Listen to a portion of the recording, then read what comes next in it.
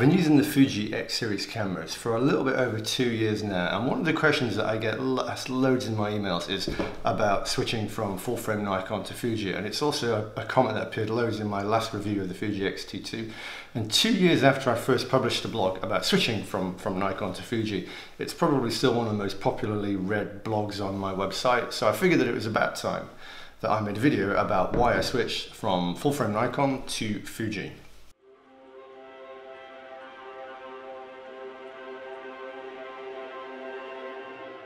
Now I'm a landscape and travel photographer. I've been shooting digital for about 11 years. My first camera was a Nikon D80 and uh, right since the very beginning I've loved shooting landscapes, I've loved shooting waterscapes.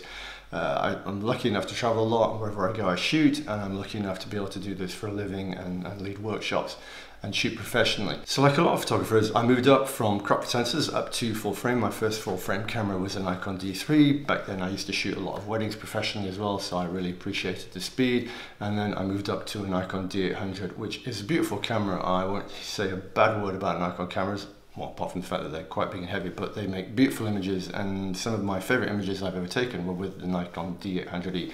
It's a wonderful, wonderful camera. So what I don't want to do is be particularly critical of a camera brand or say this camera's not as good as that camera or this camera's better, because that's not what it's about.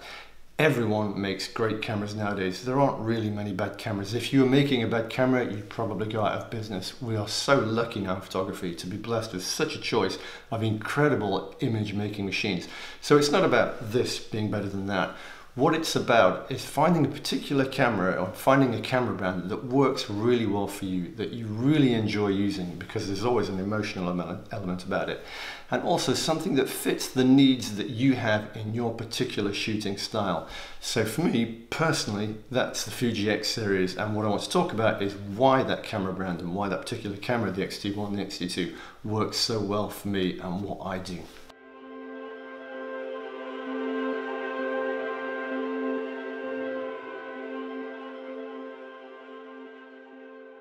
The first time I came into contact with the Fuji X series cameras was when I was using Nikon and running street workshops and a couple of clients came along with X-T1 or an X Pro 1 and I started to notice these cameras and I how incredibly, first of all they're beautiful machines but I was also impressed by how tactile they were, the usability. I liked the fact that you could control everything through dials on the top. It was something that, that just looked really great uh, and sort of piqued my curiosity to the point where I invested in an XT10 because I thought it might make a nice backup camera or a travel camera to take with me when I was traveling. Now, as I said before, I travel quite a lot, which means taking cameras and lenses on planes and tripod and stuff like that.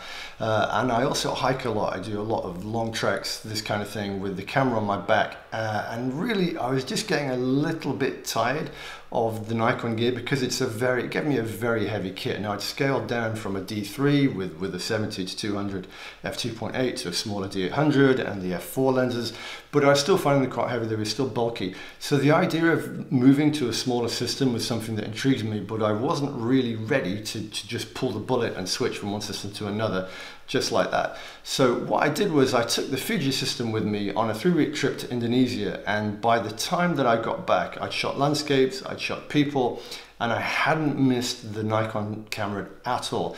There were certain shots there like this two-hour star trail which was done with an X-T1 that I thought that I simply wouldn't be able to achieve with a Fuji camera. And when I could do that kind of stuff, it made me realize that I quite simply didn't need a big full frame camera anymore. And on top of that is the fact that I genuinely appreciated carrying around a much smaller, much lighter camera system.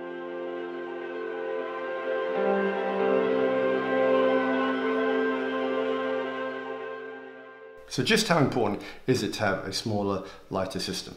Well, I tended to travel light anyway. I only ever really used to use two lenses, an ultra wide angle zoom with the Nikon I was using the 16 to 35 f4. Before that it was a 17 to 35 f2.8.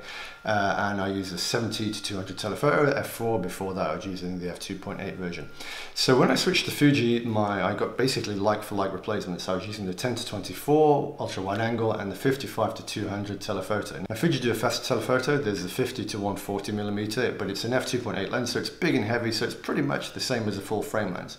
Uh, and what I wanted to do was travel as light as possible. And just in that, the Fuji body, the two lenses, I was saving about one kilogram. Principal reason behind that is, is while there's not a huge amount of difference with bodies, certainly if you're using Sony, the Sony mirrorless bodies are also quite lighter. But when you're using full frame, there's obviously going to be a lot more glass in there. So the big difference is always in the lenses. And of course, the more stuff you carry, the bigger the difference in weight is.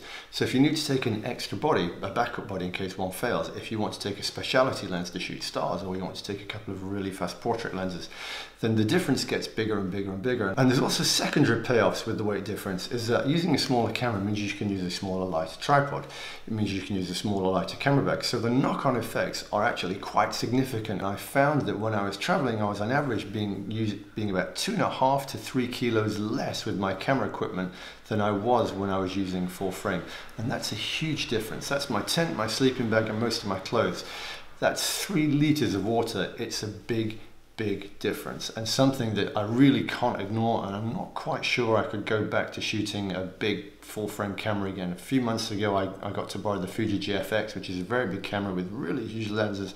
it's a lovely camera, it takes fantastic images but by the time I finished using it, I was traveling, I had it for about a week, I was quite happy to give it back. I'm just not really interested in using a camera that big that heavy again. It makes a difference when you're hiking if you've got every, everything on your back. It makes you more likely to go further, to climb that peak, to go up there, because you are just simply less tired. It makes a difference when you're street shooting. You've got everything slung over your shoulder in a bag and you spend the entire day on the streets with the camera a couple of lenses shooting. It just means that you're less fatigued. It means that you're sharper. It means that you're more likely to see things, more likely to be out on the street shooting.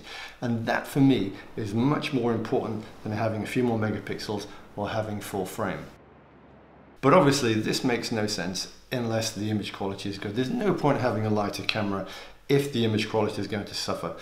Otherwise you just carry your phone. What's the point in scaling down and being lighter and having a smaller kit, having a smaller backpack if the images are going to suck or if you're not going to be happy with the image quality. So here's where we have to be really honest with ourselves about how many megapixels we actually need for the kind of photography that we're doing. Now if you're shooting billboards, if you regularly need to print more than a meter wide, if you often find yourself having to crop half of the image off because you just want to use a little bit in the middle that you've shot, then probably you need a high megapixel camera, something like the Canon 5DR or the new Nikon D850 or, or, or medium format. But those aren't my purposes for shooting. The biggest prints that I ever sell to clients are about 50 or 60 centimeters wide. And this print behind me, that's a 50 centimeter print done with a 12 megapixel camera. So most of the printing that I do ends up in magazines and you can easily print a double page spread with a crop sensor camera. Now I showed this before in the last video, but I'll show it again now. This is a double page spread shot with a crop sensor Nikon D90. It's a 12 megapixel camera. You can see here, this is a single full page spread. This is shot with a 16 megapixel Fuji X-T1. Uh, you can see here, this is a, it's, it's, spread a little bit across both pages, and this is a 36 megapixel full frame Nikon D800. Now, I guarantee you, I promise you that when you look at the page, you simply cannot see the difference between those three cameras. There's none at all to the naked eye. Unless you're printing really big, unless you're printing billboards, you're not going to notice the megapixel difference in real terms. When you zoom into 100% on your screen, you probably are. You're going to see that, you're going to think, oh, I've got so much detail here. But in reality, how much do you need to do that? It's something that's simply not necessary in most practical applications of photography. And I don't spend my time shooting test sheets, test charts, things like that, measuring the, the resolution. What I care about is that my prints, the prints for the purpose that I need them for, look good. And for me, the Fuji X series with a really good sharp lens is going to give me certainly the kind of image quality that I need for that kind of work.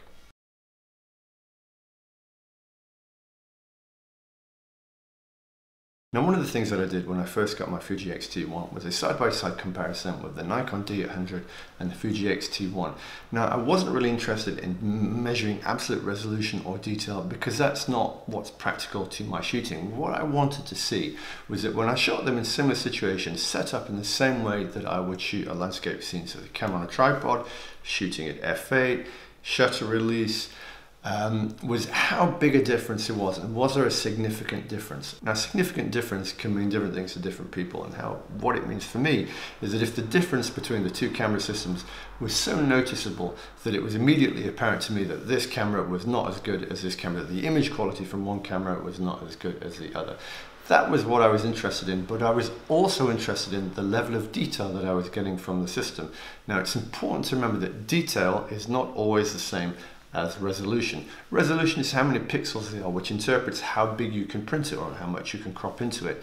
It's not necessarily the same as detail because if you've got loads of megapixels but the lenses that you're using are not very good and they're not resolving that detail, then you're not going to get all the detail that the camera is capable of resolving. So what I wanted to see was that the camera system that I was using with the lenses that I had, how much detail that I was going to have. And detail matters at every level of the image, whether you're, whether you're just showing it at 2000 pixels wide for your website, whether it's at 600 pixels wide for an Instagram post, or whether it's 50 centimeters wide for a print, you're going to notice the detail more than you notice the resolution. Okay, so this is an image shot with a wide angle. On the left, you've got the Fuji shot with the 10 millimeter, and then on the right, you've got the Nikon shot with the 60 millimeter. Now they're both shot at f8 at, at, at base ISO. Let's just zoom in a little bit uh, to have a look at the absolute detail, starting off first in the corners. We'll zoom in a little bit more at 200% now.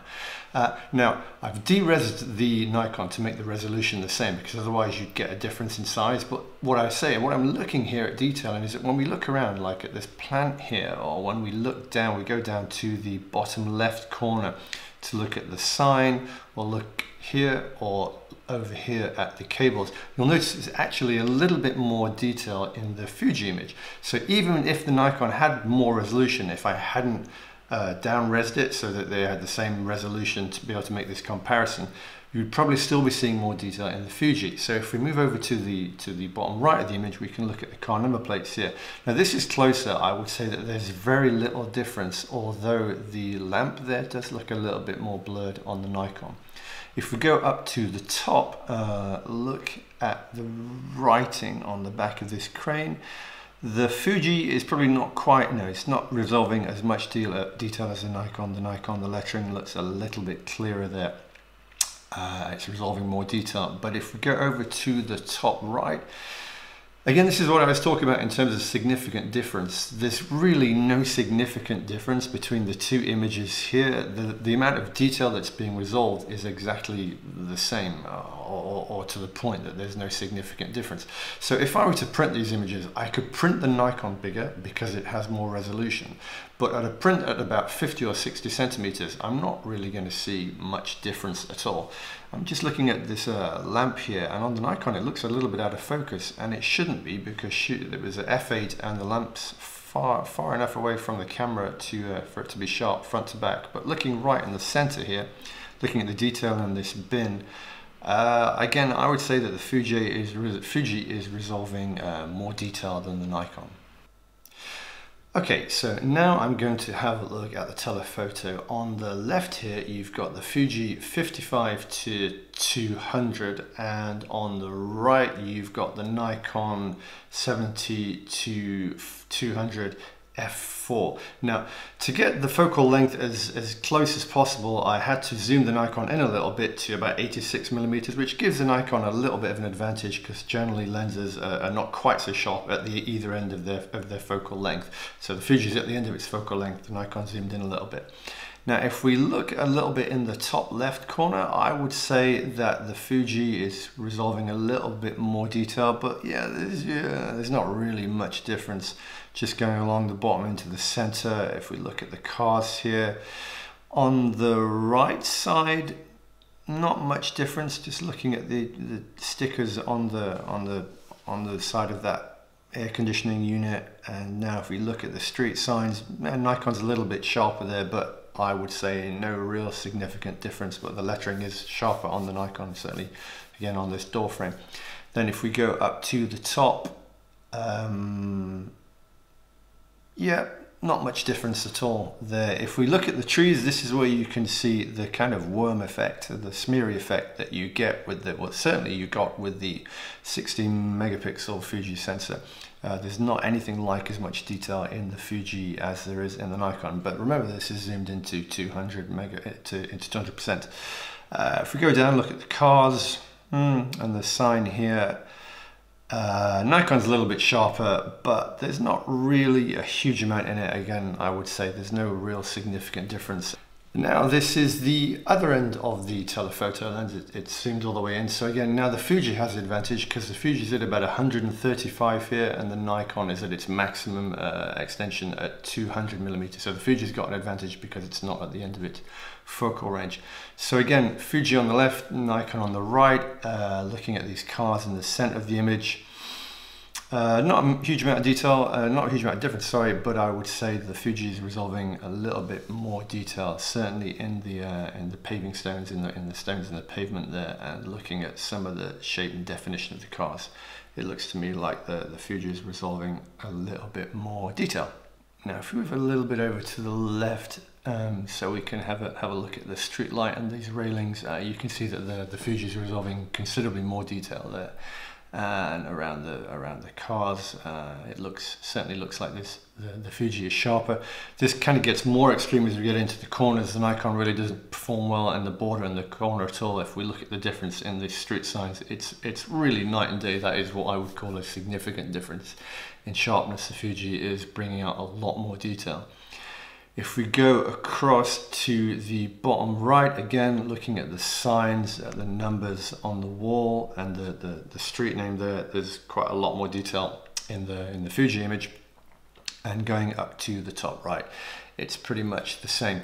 Now it's worth remembering that that was with a 16 megapixel X-T1. All the new Fuji cameras, the X Pro 2, the X-T2, the X-T20 and the new X-T3 have Fuji's 24 megapixel uh, sensor. Now that's detail and resolution, but there are other characteristics that are important in image quality. Principal among them for landscape shooters is dynamic range. Now the Nikon D800 and probably the new D850, I don't think anyone's reviewed it yet, has incredible dynamic range. That's the range between the darkest shadows and the brightest lights. Now a crop sensor in the Fuji X series, it simply doesn't have as good dynamic range, but it brings us back again to that significant difference. How often do I notice this? How relevant is it for me to overcome all the advantages that I get from Fuji, certainly the, the size and weight advantages and the feature advantages that I'll talk about a little bit later. Generally, if I'm shooting landscapes, if I'm shooting on the coast, if I'm shooting into a bright light, I'm always going to shoot multiple exposures so I can blend them together or I'll use a graduated neutral density filter. That was the case with the D800 and it's still the case for the X series.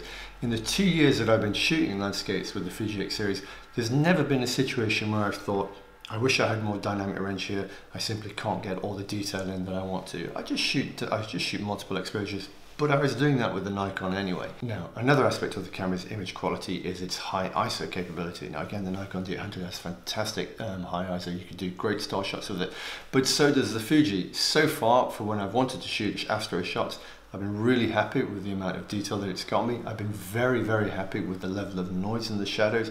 And certainly because I don't generally need to, when I'm shooting stars, it's very rare that I need to go past ISO 2600, ISO 3600. That's usually my absolute limit. And the Fuji will handle that pretty much almost as well or without any significant noticeable difference to the Nikon. Now another thing that I get asked a lot about and that certainly needs addressing is the kind of smeary watercolor effect that you got from Fuji RAW files, particularly when you imported them into Adobe Lightroom and particularly with the 16 megapixel sensor in the X-T1 and the X-T10 and the X-E2 and the X Pro 1. Now I certainly did notice it when I looked at the foliage at 100% and compared it with a Nikon camera, but because I don't shoot foliage that often in landscapes, it was never a particular issue with me. But even then, with some of these images, like this one, where there's a lot of foliage, it was never it was never something that I felt had a significant impact on the image or reduced the quality in any way. So I was quite happy to live with it. Now with the X-T2, there doesn't seem to be a problem. I don't know if that's because Fuji have changed the sensor or if Adobe Lightroom have improved the way that they read Fuji RAW files, but I have to say it's not something that I noticed with the new camera. But being honest, that doesn't necessarily mean that it's not there. Generally, with photography, as in all things, we have a capacity to ignore things that we don't want to see, or alternatively, we see things and amplify things that we do want to see. So, if you kind of decided that you hate this watercolor effect, if you look for it and you see it, you're going to notice it and it's going to be a problem for you. However, I'm, perhaps guilty of this. If you already love the Fuji camera system, if you if you're happy with the image quality, you're probably quite capable of overlooking them or of overlooking issues like that, or of not seeing it, or of telling yourself that it's not there. What's the reality? Uh, it's very hard because very few people judge with completely objective eyes. But what that means to me is that the issue isn't something that's so significant that for the terms of my output, and I know I'm repeating myself again, and for the purposes that I use the camera, for the prints that I, that I do, I simply don't notice it and it's not a problem. But you have to decide for yourself. You have to look at the images and say, can I live with this? Is this okay? For me, I certainly can. It's not an issue. It's not something I notice. It's not something that I see in my images. And I'm perfectly happy with the images that the Fuji is giving me. However, if it is something that you find noticeable or off-putting, you can always try using a different RAW processor like uh, Capture One or Iridient Developer, which works particularly well with Fuji RAW files. It's easy to fit Iridient Developer into your Lightroom workflow. You just simply import the images into Lightroom and then you right click open image in Iridient Developer. So the raw image will then open in Iridient and that will give you your raw conversion. And then you just save it back into Lightroom as a DNG or a TIFF and the raw the raw conversions have been done elsewhere and you'll get the best raw conversion that you can for a Fuji raw file. It does add about 30 seconds to a minute on your on your workflow for each image and it's not something I genuinely find necessary. I suppose if I was shooting lots of foliage then I might use it a little bit more but it is an option that's there if you really feel the need to use it. So looking at the image quality overall, the Nikon does have more resolution, but it doesn't necessarily have more detail with the lenses that I'm using. It has slightly higher dynamic range and possibly slightly better high ISO performance, but it is a difference significant, which brings me back to what I was saying before about a significant difference and how noticeable it is in the work and in the output that you've got. And quite simply, for magazine prints, for these kind of prints that I'm providing for clients, there is no significant difference to my eyes. Now, you may disagree with me, and that's fine. Everything is subjective, everyone has their own opinion, and people tend to see things or not see things depending on a lot of their emotional preferences anyway. But for me, for this work that I'm doing, I'm perfectly happy using a crop sensor 24 megapixel Fuji, certainly as happy as I was with a Nikon D800. So then we have to look at the advantage of using a mirrorless system. Now I've already talked a lot about size and weight, which is a huge difference for me. But one of the things that I really liked about Fuji was the, the way that they implemented all their features. So things like the tiltable screen, which uh, at the time you didn't simply didn't have on the Nikon. It's something that I use a huge amount for landscape photography because I've quite often got the camera very close to the ground. So being able to look down on the screen was a big deal for me. Now another thing that I love is the EVF. I found that I much prefer using an EVF to an optical viewfinder. It's brighter. It shows me exactly what the exposure of the image is going to look like before I click the shutter. I've got the histogram on there. I get immediate feedback when I change the exposure compensation. So it, it kind of does make you a little bit lazy because you know exactly what the image is going to look like before you even click the shutter. And quite honestly, I don't think I could go back to using an optical viewfinder. Now again, that's a preference thing. A lot of people prefer optical viewfinders and I get that. But for me, the EVF is so good and it's something that I do much prefer on mirrorless cameras. Now, as I said before, I like the tactile nature of the buttons. I like having the ISO, shutter speed, uh, exposure compensation on the top where I can see everything. I like having the aperture on the lens. It makes it a pleasure to use. And that's something that it's really quite easy to overlook is how much we enjoy using a camera. So since I started using the Fuji, I generally enjoy using it. I enjoy taking pictures with it. I used to find the Nikon, it was an incredibly effective tool but it wasn't something that I enjoyed carrying. If I was going to go out for a walk around the town, if I was going for a walk with my wife, if I was just going for a short hike, the idea of putting the big Nikon the, with all the lenses in my bag was just something I thought, nah, I'm not going to do, I'm going to leave it home. Now, we're not, maybe not supposed to think of it in that way. The camera is a tool, it's a solid object, we're not supposed to have an emotional connection with it, but it's also worth thinking about is the camera is an extension of your arm, it's an extension of your eye, it's an extension of your body. So the way that you connect with it when you're taking pictures is actually incredibly important. And that's another thing that I've noticed when doing street photography. When I was using the Nikon and the big lenses, there's this huge black object in front of my face and it really separated me when I was traveling, when I was asking people if I could shoot environmental portraits, if I could take pictures of them. With the Fuji, it's a lot smaller and it's a lot less kind of intrusive between me and the subject. Now, I found for street photography, it's also a lot more discreet. I get a lot less attention when I'm using this than I ever did with the Nikon. It's not as noticeable, it's a much smaller thing. It's very easy to shoot from the chest with the articulating screen out. It's much easier to capture candids. And generally, it's the kind of thing that when you're walking around a city, people just don't notice it as much. They don't see it as much as they do a big DSLR with a big fat portrait lens on it. Now another thing that's quite important from a landscape point of view is how rugged the camera is. Now the Nikons, I had them for a long time. I took them to the Sahara Desert, I took them to the Amazon, I used them in the Atacama Desert, South America, to Iceland, to rainy Scotland, and the Nikon cameras always functioned. I never had a single problem with a Nikon camera ever. Now I haven't been using the Fuji for as long, but so far I can say that they have always functioned perfectly. I've not given, been given any reason to doubt them. Now I've used them in dusty volcanoes in Indonesia. I've taken it again to a rainy, snowy Iceland, and next year I'll be taking it to Greenland and also to snowy Norway for the Northern Lights. So far, with the weather-resistant lenses, with the weather-resistant body, the the Fujis have performed extremely well, and I don't have any problem with them. I don't have any doubts about whether I can take it, whether I can use it in the rain, whether getting wet's going to have any problem with it. They are also incredibly rugged, tough cameras. So I think that's about everything. All I can really say at the end of the day is that from a personal point of view and that from a professional point of view, I haven't regretted switching to Fuji, not for a single second. I really love the image quality that I get from the Fuji cameras. I love the feature set. I greatly appreciate the huge savings in weight and the savings in, in using a, a, much smaller bag. And I genuinely enjoy using the cameras, which for me is a major part of photography, but I appreciate that it's different for everybody. And if there's something that you genuinely hate about the Fuji cameras or something that you love about the camera system that you're using now, then that's fine, stick with that. But if you've got any curiosity, if you're interested in switching to Fuji, then don't hesitate, drop me a comment and I'll try and get back to you as soon as I can, or send me an email and I'll reply whenever I've got a minute. But anyway, as always, thanks for watching. I hope it's been useful and take care.